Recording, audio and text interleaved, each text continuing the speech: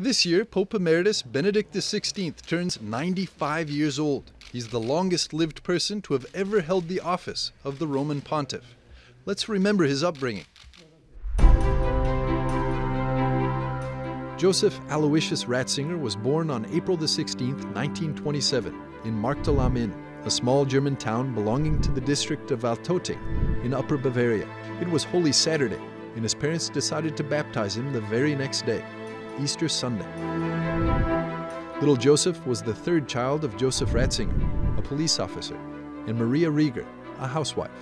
His older siblings, Maria and Georg, would be ever present during the different stages of the life of their younger brother.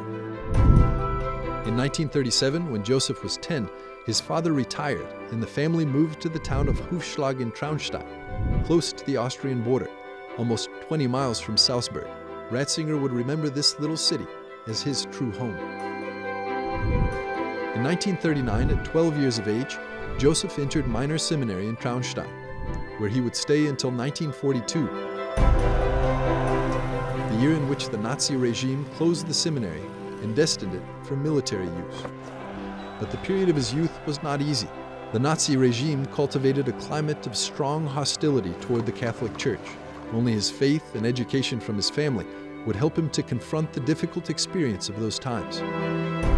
From March of 1939 until 1945, the law on the Hitler Youth forced all young people between 14 and 18 years of age to sign up for its ranks. Young Ratzinger didn't escape this fate. In 1941, upon reaching 14 years of age, Joseph entered the Nazi youth movement against his will and continued his mandatory attendance despite the closing of the seminary in 1942. It was precisely in this scenario where the young Ratzinger would discover the beauty and truth of the faith in Christ. In his memoirs, then Cardinal Ratzinger would underscore the fundamental role of his family, which was ever a clear witness to kindness and hope.